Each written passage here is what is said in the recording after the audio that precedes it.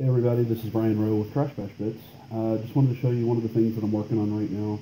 This is a going to be a small building with an observation tower, and in general, what I start off with is just a bunch of junk. This is from an international coffee container, just plastic. Um, these are knockoff, I guess, Duplo blocks. Um, you just knock this big peg off the top, and it gives you a nice form you can build things up that once you texture this, it'll actually look like cast concrete or masonry or something similar to that. Um, this ball was, I think, for gum. It was a, a gum container. I glued the lid down and kind of knocked off the little lifty part here.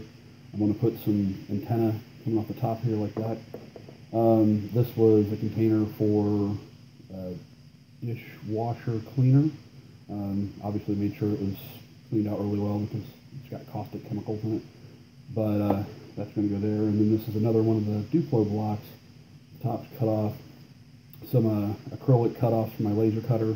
And then I've started detailing this with model kit parts, but I'm not going to do too much with that because I'm going to texture all these parts and I don't want the detail to get too gummed up. Um, one thing with this kind of container oftentimes has this little lip here, and you can see what I've started to do is to cut out parts where this is going to attach to other pieces. So with my trap, trap jaw door, trap jaw door, and I'm going to put that right there. So I wanted to cut that piece out so that it fits there nice and flush.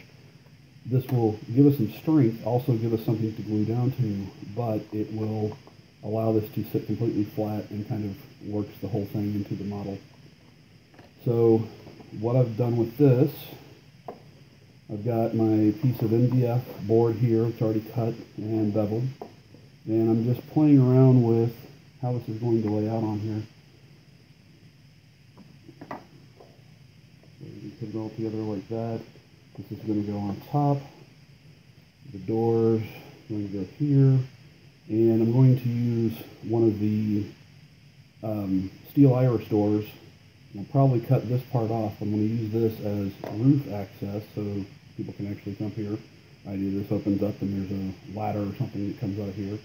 And I'm going to use a lot of the gun ports to kit it out so that there will actually be some fields of fire coming out of the building. One thing when you're doing something like that, like this, it's a good idea to have a model so that you can actually make sure that things scale correctly.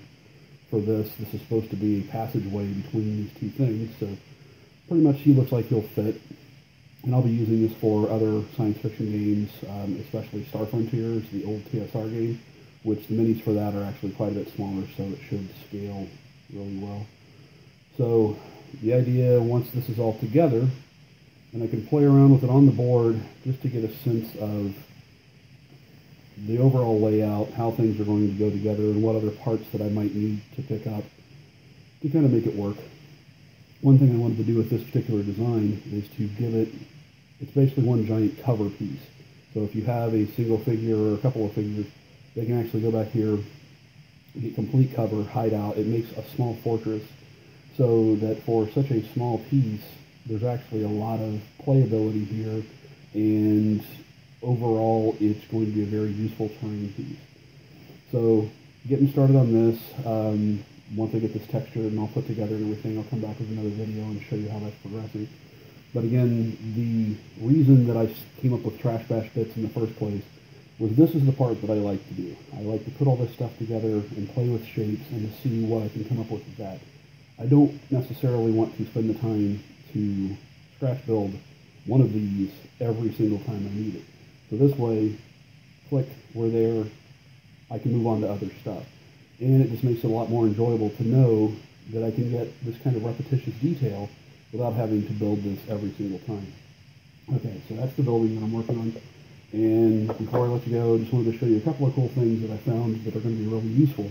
This is what Super Sippers Fun Building Straws. Couldn't care less about the actual reason for those Kids to make crazy straws that they drink out of. But all of these really awesome angled pipe pieces here. And I think this was $5 at Dollar General when I found it.